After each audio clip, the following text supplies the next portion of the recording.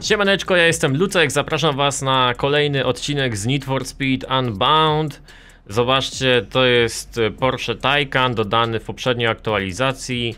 Zniknęły mu opony.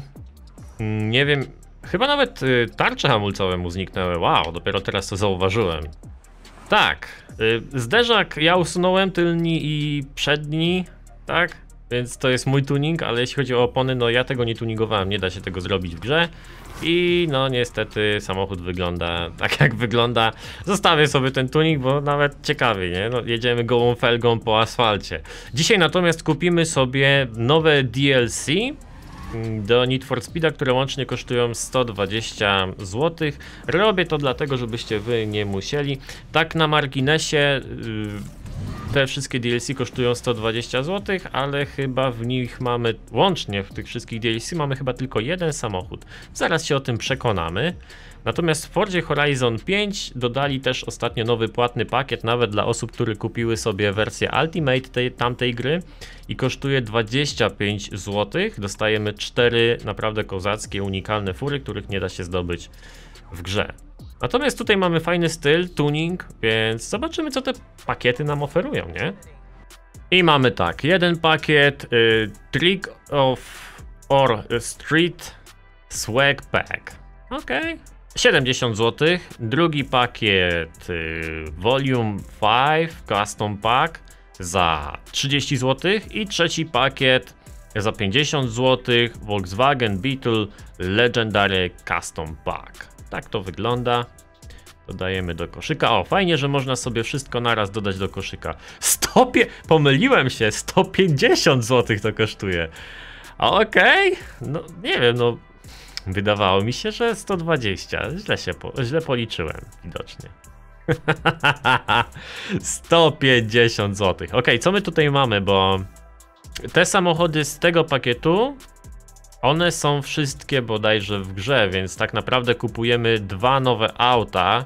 Mnie one kompletnie nie interesują, ale mogą mieć ciekawy wygląd. I kupu jak je kupujemy, to dostajemy w grze kompletnie niestuningowany samochód, jeśli chodzi o osiągi, więc musimy na niego wydać sporo kasy, czyli musimy trochę pograć, żeby zdobyć tą kasę, żeby, wiesz, nie? Okej, okay, mamy kupione.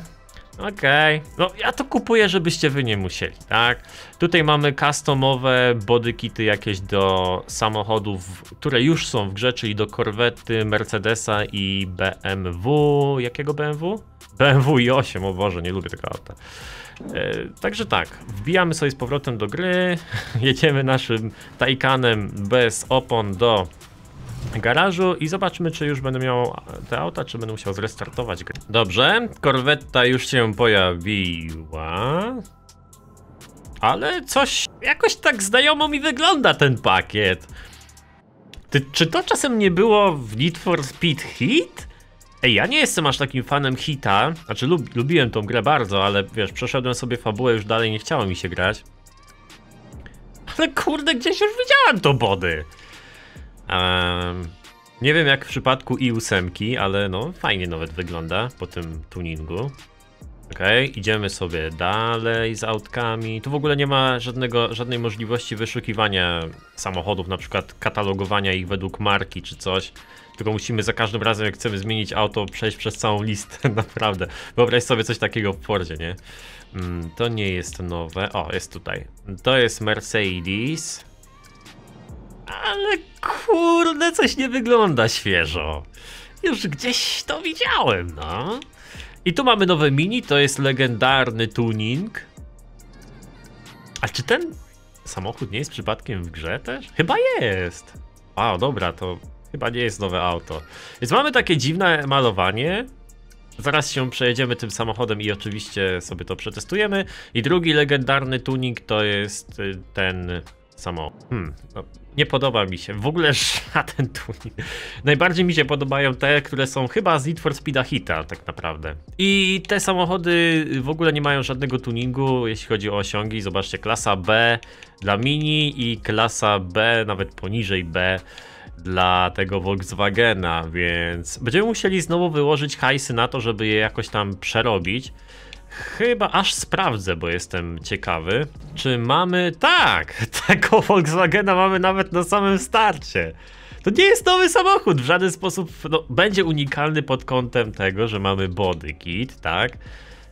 Ale ten samochód jest już w grze, no. Jak kupujemy pakiet za 25 zł do Forza Horizon 5, która jest... Yy, brak mi słów, nie? Która jest tyle poziomów wyżej od tego Need for Speeda, to dostajemy naprawdę dopracowane, fantastyczne samochody. Co prawda bez bodykitów i tych fancy rzeczy, które tutaj mamy, nie? Ale przynajmniej będziesz chciał nimi pojeździć, bo w tej grze może być różnie. Znaczy, mogą samochody. Niektóre samochody prowadzą się całkiem nieźle, a inne prowadzą się kompletnie do dupy. Jestem w szoku, bo teraz dopiero sprawdziłem, to nie są nowe samochody nawet. To są samochody, które są w grze. Chyba wszystkie w ogóle z tych pakietów. Wow! Więc tak naprawdę nowym samochodem w tej aktualizacji jest ta nowa BMK M2, to taka kwadratowa. Więc to jest korweta z Need for Speed Heat. Już rejestracja mi to potwierdziła, bo nie byłem na 100% pewny, ale teraz już jestem. Ma tylko tyle, że jakieś tam malowanie, te lampy są innego koloru chyba, przednie, nie? I no, Wygląda to sobie tak Need for Speed Heat. Weźmy sobie następne auto. Tutaj za każdym razem jak chcemy zmienić auto, to musimy wejść do garażu, przejść przez wczytywanie i tak. Ewentualnie możemy też przejść sobie na meetup, to chyba będzie nawet szybciej. Tak, wbijamy sobie do meetupu. Nic y, nad czym warto byłoby się pochylać jakoś dłużej. Nie mamy w tej grze tych fantastycznych miotaczy ognia z rur wydechowych. Ja czekam aż oni to dodadzą. Ja myślę, że oni to dodadzą. No to była najlepsza rzecz w Need for, jedna z lepszych rzeczy w Need for Speed Heat. Te miotacze ognia z rur wydechowych. Mi się to bardzo podobało. Tak, dobra, dalej mamy tego Mercedesa z takim bodykitem. Jestem pewny, czy akurat to wziąłem, bo naprawdę nie wygląda jakoś szczególnie jak na Need for. Tak sobie wygląda podczas jazdy. Taka felga trochę za mała wydaje się. Będzie trzeba to poprawić. No i chodźmy do chyba najciekawszych tuningów z tego pakietu. 150 złotych. Przypominam wam tylko 150 zł łącznie za wszystko, nie? No niby widzisz co tam kupujesz, tak? No nie, oczywiście jest słaby, bo jest niestuningowany, ale ultra szeroki jest, co? Nawet ciekawie wygląda z tym malowaniem. Tutaj mamy nawet jakieś naklejki na lampie, takie oczy jakby, na lampach właściwie przednich. I tu nie mamy jeszcze tych takich pakietów wzorków dodatkowych, jak włączamy sobie Brust Nitro, trzeba sobie to dodać, nie? Więc tutaj nie mamy takich dodatków, ale pewnie jakieś dodatki by się pojawiły w grze, bo tam zawsze do tych pakietów coś dodają ciekawego. Nie świeci się nic, w poprzedniej aktualizacji mieliśmy takie, czy dwie aktualizacje temu mieliśmy takie świecące naklejki, one wyglądały fajnie na Golfie. Nas, potem w następnym patchu niestety zniknęła mi cała karoseria i musiałem Golfa kupić od nowa, żeby widzieć te naklejki. Naprawdę. Jest strasznie wolny, nie wiem czy tu pod górkę podjedzie. Tak, jest mega szeroki. Czy ma jakieś dodatkowe funkcje?